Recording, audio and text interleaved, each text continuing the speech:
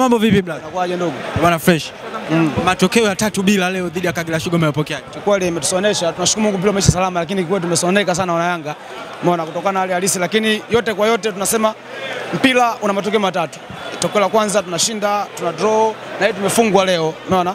Kwa hiyo kama tuliweza kufurahia tuliweza kufurahia suluhu basi leo tukubali tumefungwa, unaona, japo ilikuwa sio mategemeo yetu wana Yanga kufungwa mechi kama hii ya leo, ilikuwa nyepesi sana kwetu, kwa sababu tayari tulikuwa tumeweza kurudi katika uhalisia wetu. Kocha alichochanganya tu amesahau kufanya hesabu mapema. Hatuwezi kuwa na steka mmoja Ditian Adrian Chimbi juu peke yake, kwa takiwa tuwe nao wawili angalau aweze kuipushi timu. Nyoso anajua mzoefu, unajua. Kwa hiyo akiwa na mtu kama Nchimbi peke yake inakuwa ni kazi sana ngumu kuweza kumuini Nyoso. Kwa lazima akiwa na mistake wawili. Kwa hiyo hilo ndio kosa alilofanya kocha. Wewe unafikiri sasa nini kifanyike sasa? Yaani makosa makubwa alikuwa wapi na nini kifanyike kuelekea kwenye mechi zijazo? Ah, mimi naweza kusema ukweli kosa kosa lilikuwa kuna kiungo cha chini. Umeona kiungo cha chini kilikuwa kina kinapotea kina sana. Alafu vile vile striker baada ya kuwa striker moja peke yake juu, hiyo ndio ndio makosa makubwa. Mimi naamini kocha ameona. Na kocha kwa sababu ndio mechi yake ya kwanza ameingia vibaya. Naamini mechi ijayo atajitahidi kurudisha katika katika hali yake na kwa sababu uzuri tunafanya usajili, basi mechi zinazokuja na- tutakuwa vizuri zaidi zaidi ya leo. Bila shaka mlikuwa na matumaini makubwa na Ditra Mchimbi. Alisajiliwa mkamshangilia sana mkafurahia usajili wake. So far uwezo ambao ameonyesha leo ndani ya kikosi cha Yanga leo unauzungumziaje? Dita Nchimbi sina wasiwasi naye mpaka sasa hivi, sina wasiwasi naye kwa sababu Nchimbi anaonesha kitu gani anacho mara mapafu, anakaba, umeona, isipokuwa alikuwa anakosa support.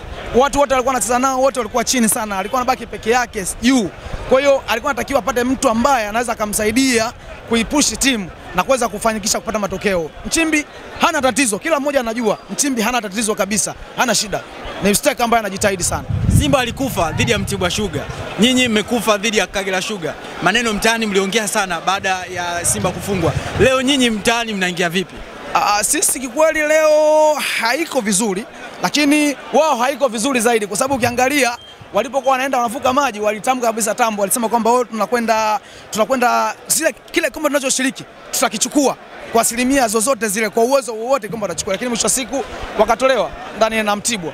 Na mimi leo hapa, hii ni ligi, umeona hii ligi na point sio na kaunti kwamba nikifungwa natolewa. Hapana, hii ni ligi. Mimi amenifunga leo, kesho nitaenda kwao nitawafunga, na ligi mimi nitachukua tu.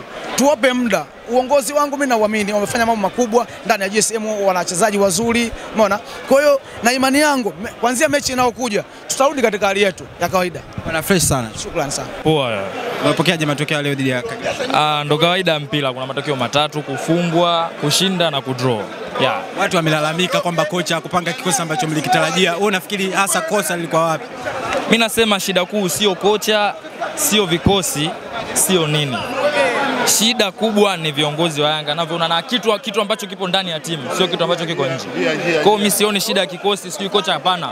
Kocha yuko vizuri, yani kila kitu unakipasa. Shida ni nahisi upo kwenye ndani ya uongozi wa Yanga. Sioni tatizo lolote kwenye kikosi, kikosi kimepangwa vile vile tu, yani sioni mabadiliko yote, ila ni wachezaji na ndani ya Yanga yenyewe, sio shida. Nakubali kama Kagera Sugar waliazidi kila idara mpaka wamefani- wamefanikiwa kuondoka na kushinda goli tatu. Hey, kama mpira ulivyoonekana tumepata kadi nyekundu mapema, wamecheza mpira umeonekana na sisi. Kipindi cha kwanza tulikosa nafasi nzuri, lakini kipindi cha pili pia mpira ya tumeona ulivyokuwa. Shukrani sana. Sawa.